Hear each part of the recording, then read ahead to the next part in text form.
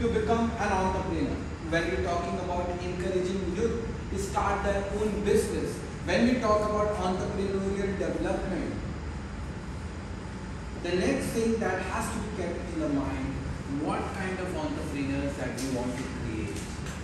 Whether they should be only profit centric, whether they should only focus on, on money, whether they should be only focused on how to generate revenues, how how to increase their branches, or they should be also concerned about the environment, or they should be also concerned about the society, or else they should be also concerned about the people for whom they are working, people for whom they are producing goods or services. So that is why we have this topic, how entrepreneurial culture can influence and create a good entrepreneurial development within the society. The topic is the role of entrepreneurial culture in entrepreneurial development. When we talk about entrepreneurial culture, it means we are trying to answer ourselves what kind of entrepreneurs we want to create. Now it depends upon are we teaching them about ethical behavior? Are we telling them not just to focus on growth and expansion, but also to focus on the people for whom they are producing the product? Also to focus on giving and right information about the product. Also to focus on what would be the benefits of using the product as well as what would be the disbenefit of using the product. What are the features or the pointers or the pros of the product as well as the cons of the product. This is ethical behavior. The next thing. The another role of entrepreneurial culture is are we trying to produce entrepreneurs who are productive in nature? What does it mean? Are we trying to say them the resources are limited when we are using the resources from the environment? Are we using them in a very productive way?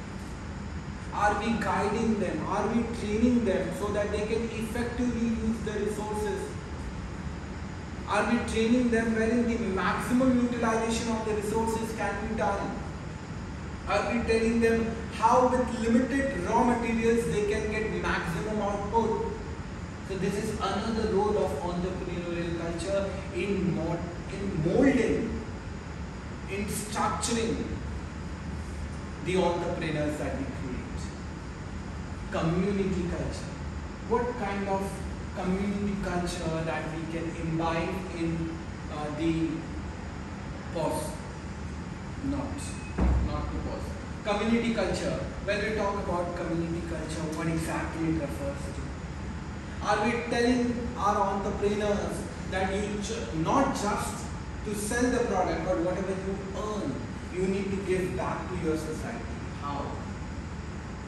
By developing, by providing social development, by providing funds, donations to create good institutes, schools, colleges, to contribute money for developing roads, for developing infrastructure, for the benefit of the people, for developing hospitals.